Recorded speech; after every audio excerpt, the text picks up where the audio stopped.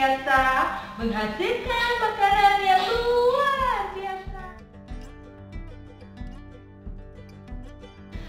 Welcome to my kitchen.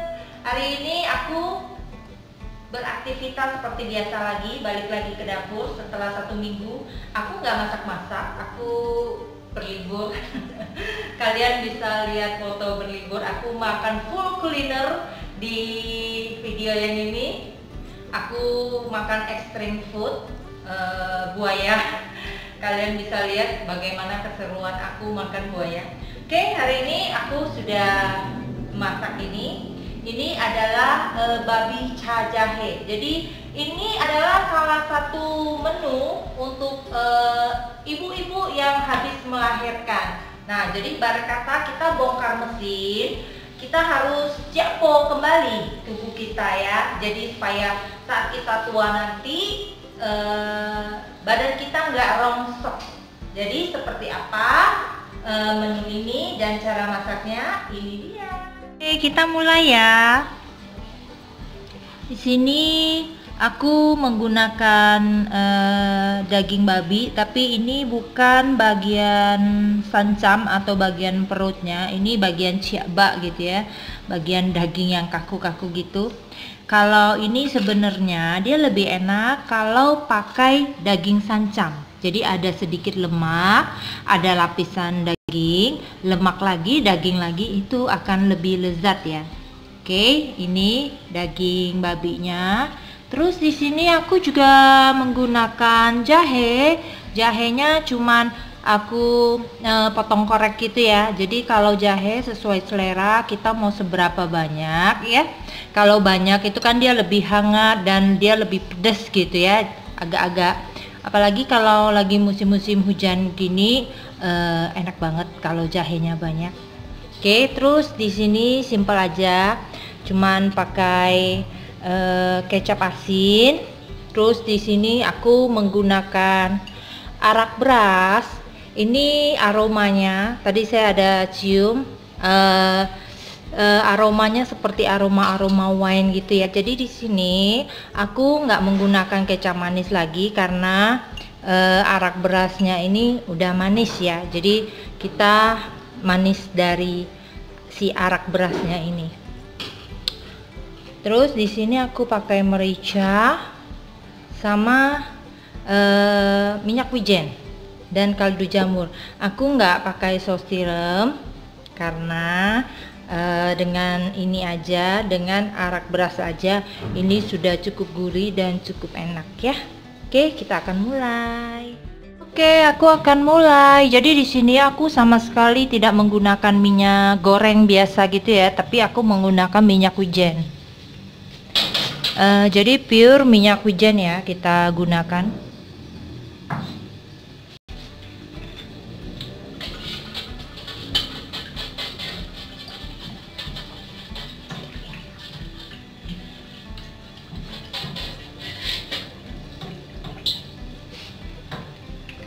Jadi kalau menu untuk orang melahirkan itu biasanya jarang menggunakan minyak goreng biasa, tapi dia menggunakan minyak wijen.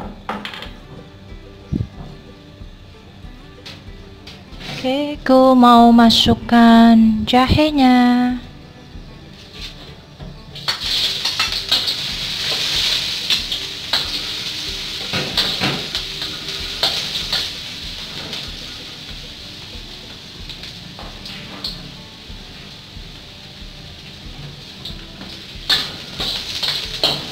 jadi kita goreng sampai agak-agak wangi gitu ya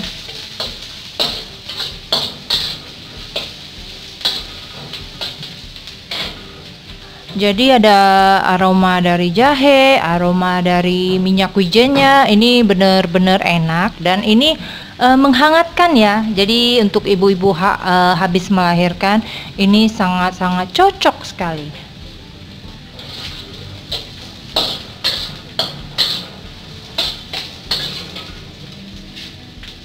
Oke, aku akan masukkan daging babinya.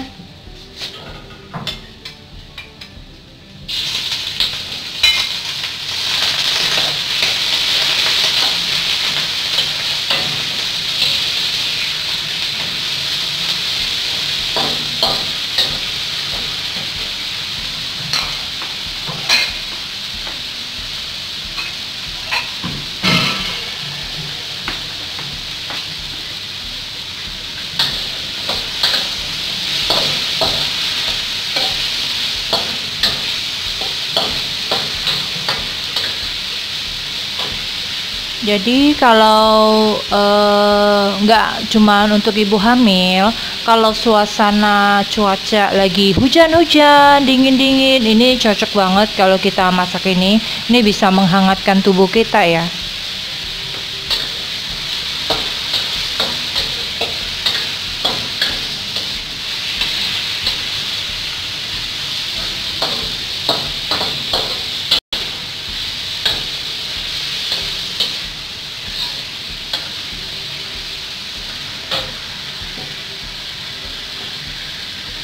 Oke, aku akan kecapin dulu sedikit aja.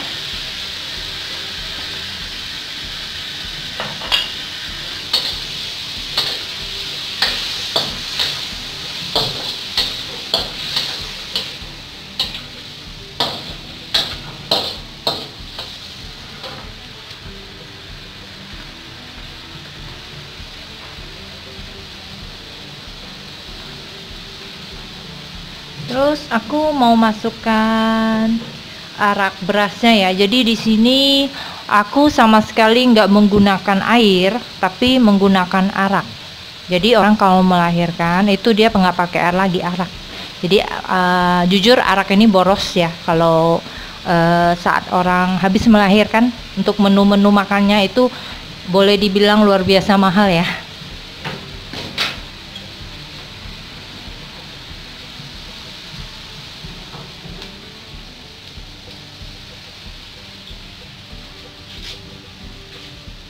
Okay. ini mungkin nggak eh, nggak uh, nggak sampai setengah deh. Se se seperempatnya lah. Karena ini daging babi ya juga nggak banyak kan tadi.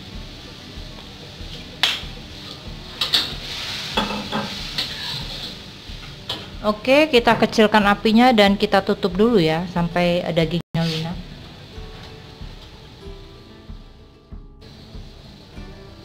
ini tuh udah luar biasa wangi banget ketika saya masukkan uh, arak berasnya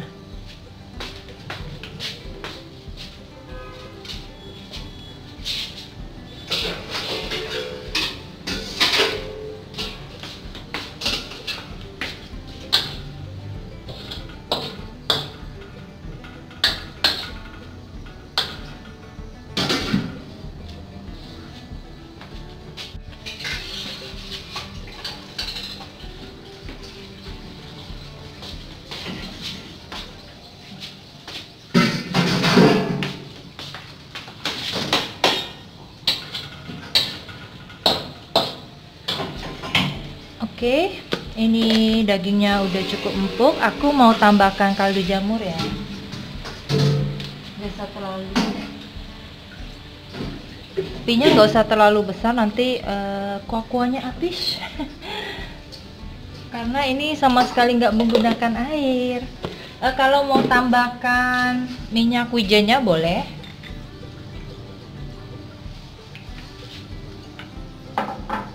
aku mau tambahkan merica.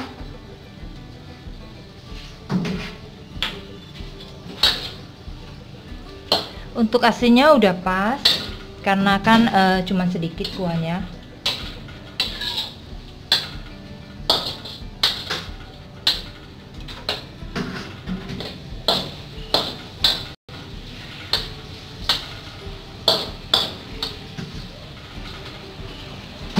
Oke udah siap aku mau plating dulu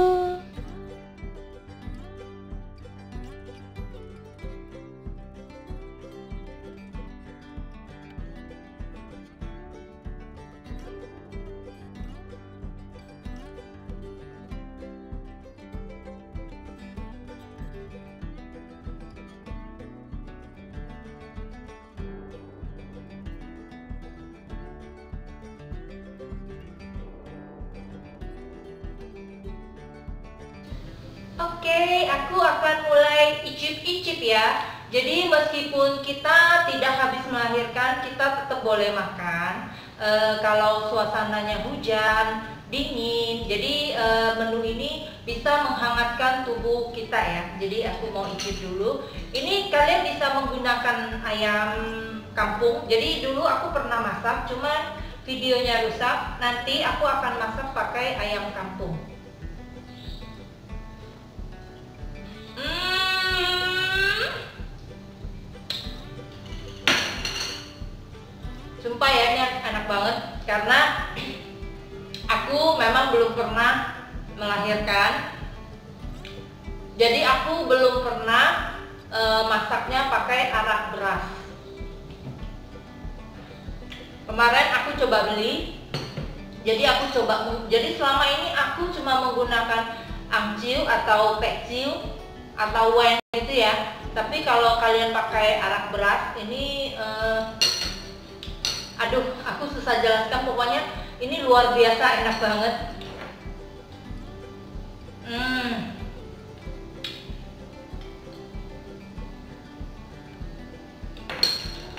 Ini tuh bener-bener cakpo banget ya buat eh, ibu-ibu uh, yang habis melahirkan. So buat penyu-penyu yang nggak punya anak beras kalian bisa menggunakan uh, anciu, peciu gitu nggak masalah ya. Cuman kalian perlu tambahkan uh, air sama tambahkan kecap manis untuk uh, mempermanisnya ya. Karena dari angciu sama peciu mereka cuma ada aroma ciunya aja tapi uh, tanpa rasa manisnya. Uh, kalau dibilang mana lebih enak? Ya jelas ini lebih enak. Enak banget enak sekali. Keenakan sampai pokoknya.